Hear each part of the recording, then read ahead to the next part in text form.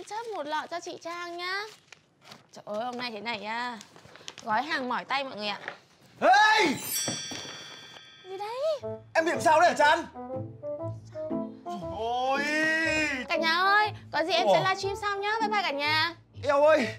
Em dám ngồi lên cả Zuka của anh Ca là cái đồng giấy lộn này á Em bị điên à Em đang livestream mà Chỉ vì mấy cái đồng giấy này mà anh mắng em Có mỗi hai cái tờ giấy thôi, anh cứ phải quan trọng hóa vấn đề lên. Ờ Bọn em bị làm sao ấy nhở?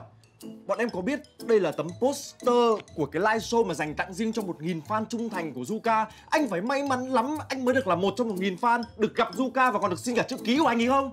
Chữ ký đây á Ờ Chữ ký gì mà xấu đấy Dạ vâng ạ, cô đi chậm Ôi, ừ. Để cô gọi bọn nó. Dạ vâng ạ Đạt ơi! Đạt ơi! Cô sao đấy? Ừ, Thành với Chan Chan ơi. Dạ? À trời Cô. ơi, cái chân của cô. Ôi Ôi Ui, Ai làm gì thế hả cái, cái cậu này đâm vào cô ấy này. Ờ, Sao anh lại đâm vào cô em ờ, anh có đâm đâu, cô ấy tự phanh cô ấy tự ngã ấy chứ Cậu này cậu đâm vào chân cô. Thế là cô ngã ra đường. Này Anh có biết là cô em chưa lấy chồng không Nhỡ chân cô em mà có mệnh hệ gì thì làm sao mà lấy được chồng Sao có chuyện gì đây? Đạt ơi, Đạt, chân cô này. Ui. Này. Ông kia, sao... Anh Đạt ơi dậy em nhờ tí Gì vậy?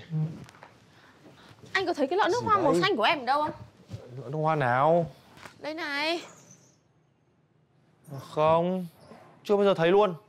Chết rồi. Em mà mất là chết em luôn đấy. Có mỗi cái lọ nước hoa thôi sao mà phải chết. Thì bây giờ brand gửi cho em để em review. Mà bây giờ em làm mất rồi. Cái lọ đấy hơn 4 triệu cơ. Mấy tháng tiền nhà em phải đâu ra tiền mà đền? Chắc em lại để ở chỗ nào xong em quên gì? Chứ làm gì có chuyện mất được. Đi tìm lại một lần nữa xem nào.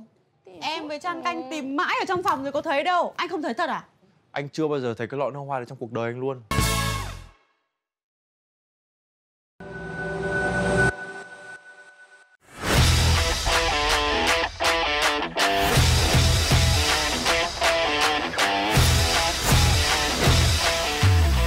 Sống là phải có niềm tin. Chỉ cần có niềm tin là sẽ có tất cả. Cháu có thương ông không? Cháu có đầy tiền đây này. Cháu lo được cho ông. Cái thằng Khải này Bình thường nó cứ lầm lầm lì lì. Mặt nó cứ lạnh như tiền ấy. Mà nó chiều em gái nó lắm. Mày phải để mắt đến cái Vân. Đừng để cho bất cứ ai làm vào xung quanh nó. Đừng có làm trò con bò. Đúng là cái đồ dẻo mỏ. Thế mới là người yêu em được chứ. Tôi đến đây xin việc Chứ không phải để xin tiền